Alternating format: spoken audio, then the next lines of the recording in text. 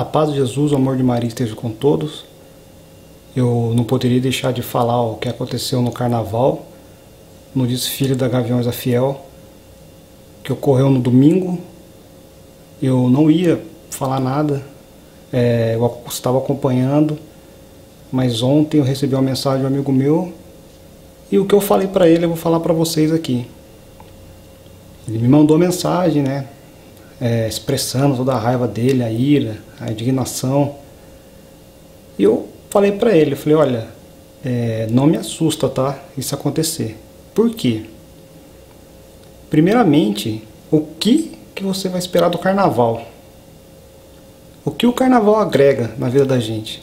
Na é verdade, eu falei para ele, o que você esperava que na passarela eles exaltassem e louvassem a Jesus Cristo?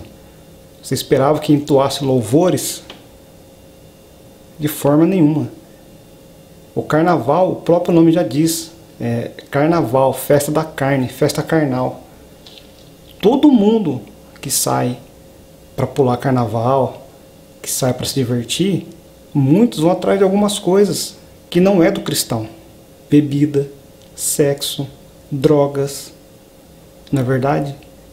Então me admira até um cristão que sai para praticar isso, que sai para pular o carnaval. Eu não sou ninguém para julgar, mas o verdadeiro cristão não sai atrás disso. A festa carnal não é do cristão. Quem vive no mundo da carne não consegue viver no mundo do espírito. E hoje, nesse mundo que predomina, infelizmente, é o mundo da carne. É onde o inimigo age. Então, a gente não, não pode ficar. Eu estou vendo muita coisa aí passando, as pessoas se expressando, mas não adianta, gente. Não adianta a gente expor a indignação, tudo que do carnaval não pode se esperar outra coisa. A respeito do desfile da escola Gaviões da Fiel, quando a minha esposa comentou comigo, eu não tinha visto, que eu não assisto essas, essas coisas de carnaval que eu não gosto, ela comentou comigo, eu não me espantei, eu não me assustei. Eu só pensei, falei, caramba, será que é verdade? Fui ver a verdade. Porque sempre eles vão querer humilhar Jesus Cristo. E já não bastasse a humilhação que Jesus Cristo passou. Então, meus irmãos, não se espantem com essas coisas. Porque muita coisa vai vir. Coisas piores. Porque o que, ele, o, que o inimigo quer sempre foi querer ver é Jesus Cristo humilhado. Mas Jesus Cristo será sempre exaltado. Ele está ao lado de Deus no trono do céu. Portanto, meus irmãos, repito, não se espantem com essas coisas. Como eu disse, vai acontecer muito mais. O que a gente pode fazer? Talvez de ficar só expressando em rede social, de falando. A gente tem muito hábito de falar, de reclamar e não fazer nada. Não é verdade? Então a gente tem que agir mais. Como você pode agir? Como eu posso agir nisso? Você que é um verdadeiro cristão, que vive a coisa do Espírito, não é, não é participar disso, na é verdade? Eu não estou generalizando as pessoas, todos que vão, mas a grande maioria é. Estava assistindo a televisão ontem, no bloco lá da, de uma cantora, a pancadaria que teve, acabou. E é isso.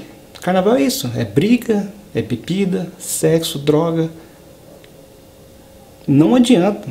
Eu comentei com um colega meu, ele é cristão, católico, eu falei com ele, olha, pular carnaval assim, assim, ele, ah, não, mas eu vou com a minha filha, eu vou com a minha esposa, a gente vai só brincar no carnaval. Eu falei, rapaz, o carnaval é assim, assim, assim, assim, acontece isso. Não, mas não sei o que, tal, ele ficou bravo, se exaltou, eu encerrei a conversa. Aí cai naquilo que Jesus falou, quando o homem perguntou para ele, Senhor, o que eu faço para herdar o céu? Jesus disse ao homem rico, larga tudo, dá os seus bens, me segue. E o homem entristeceu e saiu. É a mesma coisa. Como eu falasse para esse colega: olha, para de pular. Só que na verdade ele não quer. Então, não pode se esperar outra coisa do carnaval a não ser isso. A gente, como bom cristão, no carnaval, como é um feriado, o que você pode fazer? Retiro. Tira os dias para descansar. Tira os dias para visitar um parente. Não é verdade? Às vezes as pessoas falam, ah, mas Carnaval, o Brasil só conversa depois do carnaval. Foi negativo, negativo, discordo. Não pode focar tudo no carnaval. O que, que você vê de bom no carnaval? Então, meu irmão, para você que é cristão, viva a sua vida espiritualmente. Não estou falando para você deixar de se divertir, deixar de fazer as coisas, não. Deus não quer isso. Deus realmente quer que você se divirta e seja feliz. Muita gente fala, ah, mas o brasileiro é um povo sofrido, tem que se divertir. Bom, mas pera lá.